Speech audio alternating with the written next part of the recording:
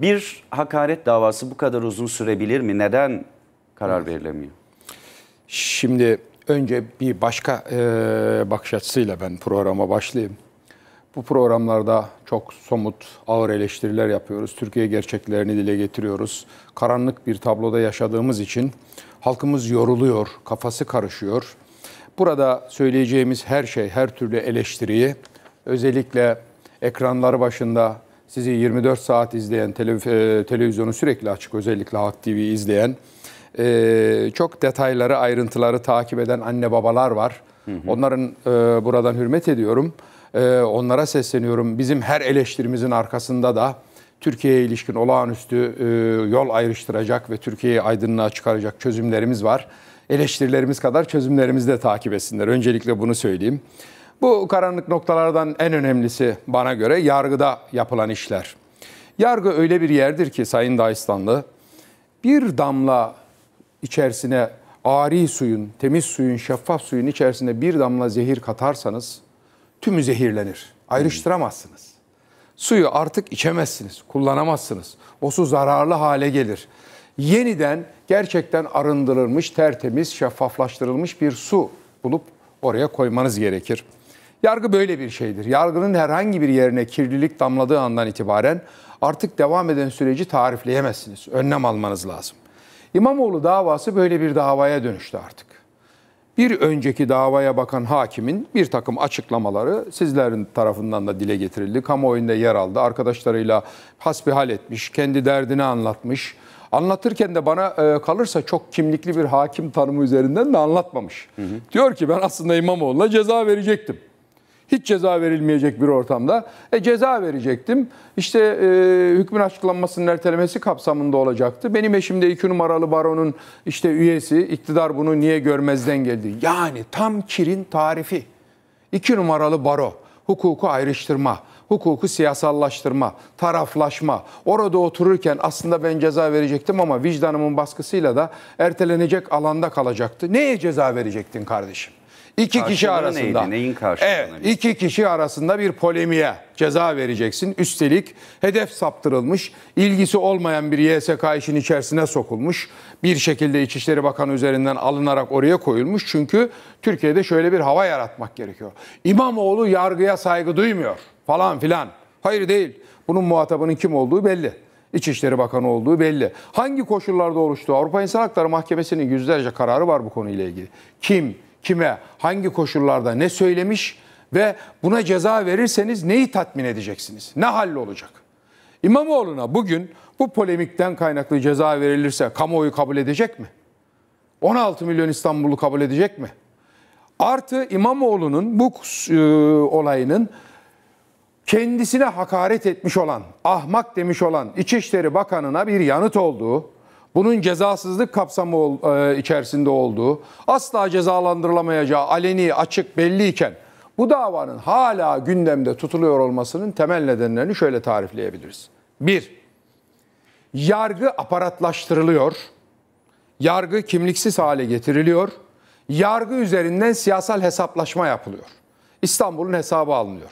Önce Canan Kaftancıoğlu'na ceza vererek bu hesabı alacaklarını zannettiler. Sevgili il başkanım aslanlar gibi hiçbir eksiklik duymadan yine görevini yapıyor. Nasıl dedi ya İstanbul'dan geldikleri gibi İstanbul'dan gidecekler. Aynen İstanbul'dan geldikleri gibi Türkiye'den de gidecekler. O görevi eksiksiz olarak yapıyor. Öyle kurgu yargılarla, şunlarla, bunlarla falan kimseyi engellemelerinin mümkün olmadığını orada pratik olarak görüyorlar. Ama diğer ayak Ekrem İmamoğlu'nu da infaz etmek gerekir kafalarına göre.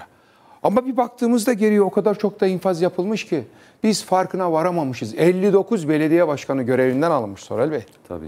Bizim Yalova'daki belediye başkanımıza açıkça bir yargısız infaz yapılıyor. Hakları elinden alınmış. Yalova hakkının iradesi yok edilmiş. Görevine iade edilmesi gerekirken hala kurgu mahkemelerle onu onu buna birleştirerek 3 tane bilirkişi raporunun açıkça cezalandıramaz, hiçbir ilgisi yoktur demesine rağmen görevinden ırak tutuluyor. Niye? Seçimlere giderken Yalova Belediyesi bizim arpalığımız olsun mantığıyla baktıklarından dolayı. İstanbul için de aynı şey geçerlidir. Ekrem İmamoğlu'nun üzerine çullanırsak bugün ya da yarın bir tarihte bu seçim öncesi ya da yerel seçim öncesi Ekrem İmamoğlu'na siyaseten engelleyecek bir karar ortaya çıkarırsak İstanbul'un rantına hala ağzımız sulanıyor diye bakıyorlar. O ranttan geçinelim. Bakınız Sayın Genel Başkanımız grup toplantımızda Sayın Genel Başkanımız Kemal Kılıçdaroğlu çok net açıkladı. Türkiye'de kirlenmenin ayaklarını açıklarken ikinci ayak olarak Merkez Bankası'ndaki 78 milyar liralık yedek akçenin kanun değiştirilerek iç edildiğini ve bir önceki yerel seçimlerde halkımızın çıkarlarına karşı kullanıldığını, bizim adaylarımıza karşı kullanıldığını açıkladı. O yerel seçimlerde onu kullanmışlar. Genel seçimlere yetişmezse bir sonraki yerel seçimlerde İmamoğlu'nun elinden İstanbul'u alabilir miyiz davasıdır bu. Ama ama tutmuyor.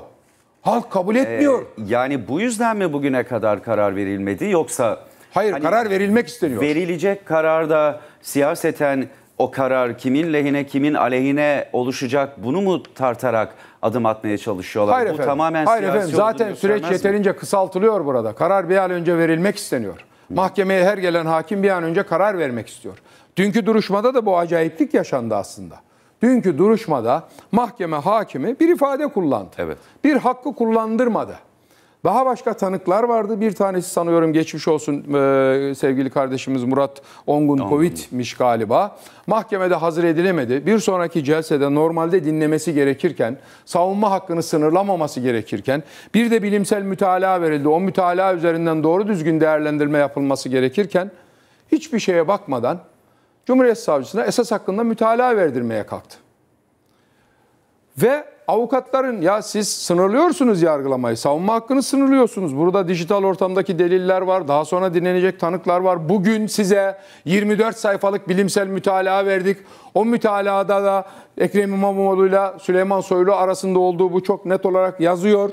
Bu mütalaya karşı beyanların alınması gerekir derken o mütalaya karşı savcı 3 dakika içerisinde 24 sayfayı okumuş gibi eften püften ifadelerle görüşünü verip esas hakkında mütalaa vermeye kalktılar. Duruşmayı bitirme amaçlı olarak.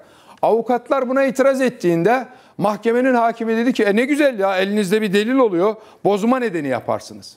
Sanık avukatı neden bozma nedeni yapar bir davayı? Sanık ceza almıştır onun için yapar değil mi? Hakimin bilinçaltı ortaya çıkıyor. Diyor ki ben ceza vereceğim siz de bozma nedeni yapacaksınız.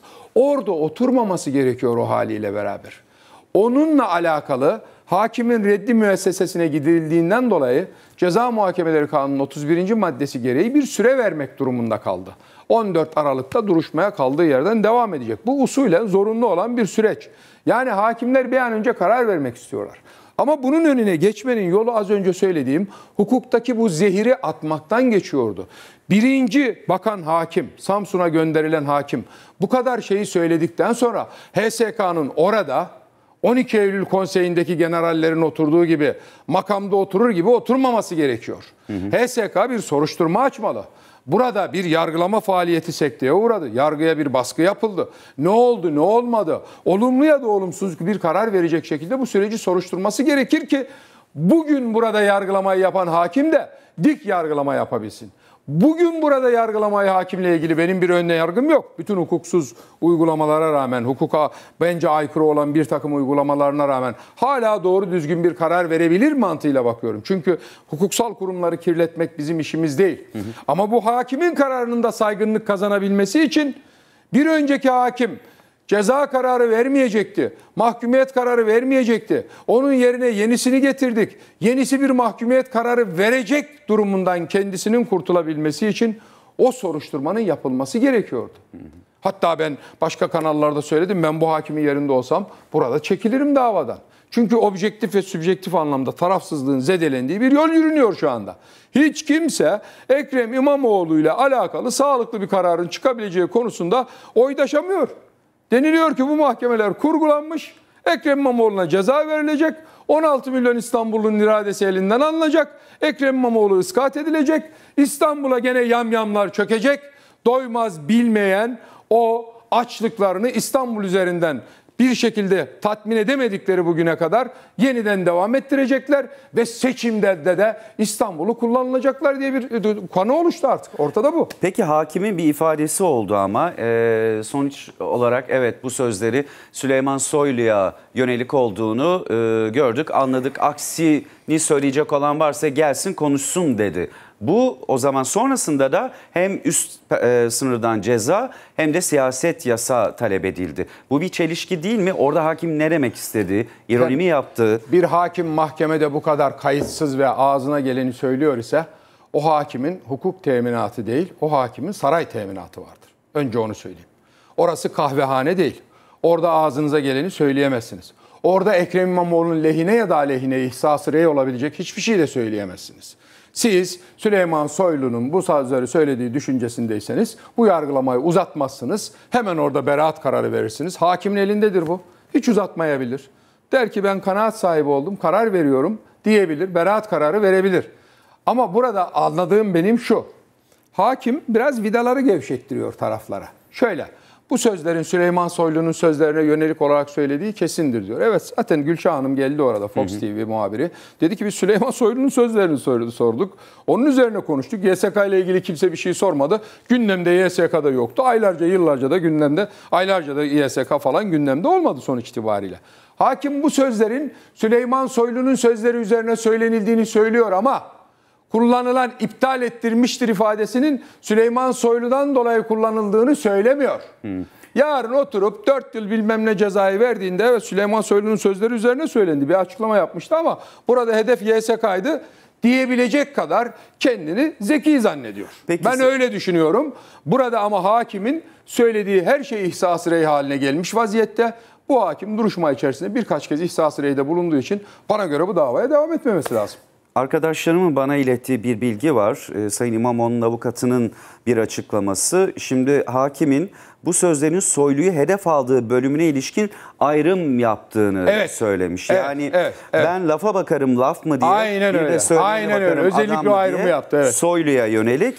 Ama sonraki cümleler tabii, YSK tabii orayı tekrarlamıyor ve orayı tutanağa geçirmiyor. Orada benim az önce söylediğim e, şark kurnazlığı söz konusu o ifadeler ayrıştırılırken e, üstadımız Sayın Kemal Polat çok güzel tariflemiş orayı. Doğrusu evet. Evet. Peki şimdi Avrupa Parlamentosu'ndan da bir açıklama yapıldı. Şöyle, hı hı. Türkiye raportörü Amor dedi ki evet. Türkiye'de yargının nasıl e, bu ifadeyi kullanmış onun için on tırnak içi cümleyi okuyorum. Türkiye'de yargının nasıl tiksinç seviyede siyaset için bir araç haline getirildiğini bu dava gösteriyor e, demiş. E, evet. E, şimdi bugüne kadar hani geçmişe baktığımızda e, FETÖ'nün etkisinin olduğu döneme baktığımızda neler yaptırıldığını ve neler yapıldığını hepimiz hatırlıyoruz. Sonrasında onları yapanlara da neler yapıldığını ve evet. neler olduğunu evet. biliyoruz. Hiç evet. mi ders alınmadı? Ee, yani bu açıklama ortaya koyuyor açıkçası her şeyi. Şimdi ders alabilmeniz için önce demokrasi kültürünüzün olması gerekiyor. Hukuka saygınızın olması gerekiyor hukuka bağlı, hukuk devleti kimlikli bir yol yürümeniz gerekiyor. Türkiye'de bunlar çürüdü. Sayın Genel Başkanımız çok fazla dile getiriyor bu konuları. Bakın birçok konuyu, kirli paranın Türkiye'ye gelişini bile dile getirirken Sayın Genel Başkanımız ve bizler bu işin öncelikle ve özellikle bir hukuksal mesele olarak da söz konusu olduğunu, sadece bir sosyolojik mesele olmadığını, hukuk devletinin kurumsal kurumsal olarak oturmasıyla alakalı olduğunu, demokratik yapıyla alakalı olduğunu, hatta kamu kurumlarının hoşgörü ötesi tavırlarından beslendiğini, onun tonunu halkımız ayrıca düşünür. Çünkü çok çeşitli bakanlıkların, çok çeşitli bürokratların, e, çeşitli suçlardan yargılananlarla beraber fotoğraflarını sizler yayınlıyorsunuz. Hı hı. Buradaki tarif bu anlamda çok kıymetlidir. Dışarıdan bakıldığında Türkiye artık otoriter bir devlet, hukuka saygısı olmayan bir devlet ve bu anlamda da itibarı olmayan bir devlet konumuna koyulmuş vaziyette. Bu bizi çok üzüyor biz ülkemizin itibarsız hale getirilmesinin ona yarattığı maliyetlerin farkındayız. Borçlanırken bile 7-8 katı faizle borçlanabiliyorsunuz ya da bugünkü gibi borçlanamıyorsunuz dışarıdan. iç piyasadan bir takım oyunlarla beraber borçlanma yoluna gitmeniz gerekiyor.